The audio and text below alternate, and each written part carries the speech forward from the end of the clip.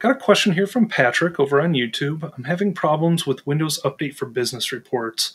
Uh, delivery optimization data is not displayed in the report for all clients. What are the minimum data collection settings that I need to configure? So for um, Windows Update for Business um, reports, uh, where are my notes on this? There are Actually, you know what? We can probably just go check this out here. I am going to go here to my Windows devices and configuration. And then here, Windows Update for Business Reports Processing Settings. Uh, if I look in here, uh, we have to have, there are a couple of minimum requirements. So allow commercial data pipeline uh, has to be enabled. Uh, allow telemetry has to be set. I have it set to full here, uh, but basic is the minimum. Uh, so you can safely set it to basic or full. And then the allow update compliance processing, this is also a requirement. So those three. The other three that I have here are optional allow device name to be sent in the diagnostic data, and then these two are around uh, surrounding the um, opt in for telemetry.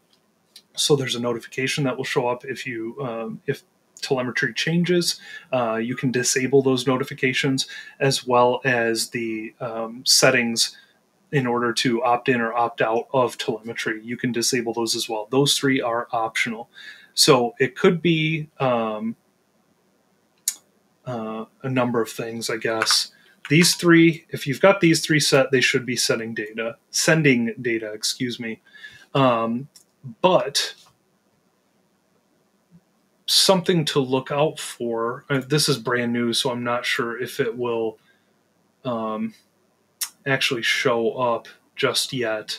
Uh, but the new um, update alerts that we talked about uh, here at the beginning, where device diagnostic, diagnostic, excuse me, diagnostic data is not even being received, uh, showing up as an alert in Windows Update for Business reports. This may be helpful. Um, so if we scroll down here, um, we'll have three, maybe these two things. We'll have diagnostic device data not received alert, um, which will give you these three meanings here. Maybe you have some endpoints that are being blocked. I have run up against that myself a, a number of times, as have many others, um, or the device itself is just doing something funky. You'll also have insufficient update connectivity alerts, um, and you can see all of these are available for Windows Update for Business reports. That said, if we scroll down here to the bottom, the example that they showed was actually looking at those alerts within Windows Update for Business reports. Let me see if I can just zoom in again here. Uh, so in the Overview tab, uh, we have the ability when we click on total devices down here at the bottom, uh, we can see a missing devices tab that pops up in the flyout.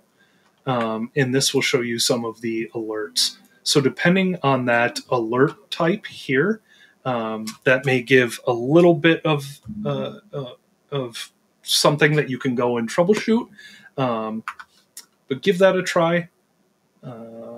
And yeah, if that works, Patrick would love to would love to know if that solves the problem.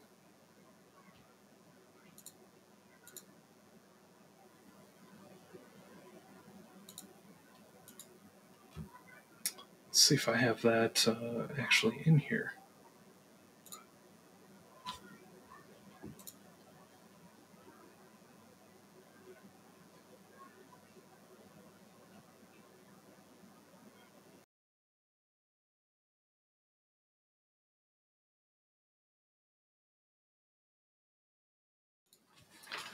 All right, so if we go into our Windows Update for Business reports,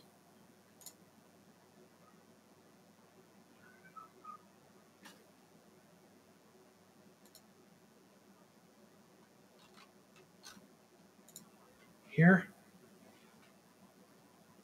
go to Total Devices, and yeah, at least uh, at least in the text here that's showing up, I don't happen to have any devices that are um, uh, showing up as missing, but give that a shot, and hopefully that gives a little bit more of an idea of what's going on.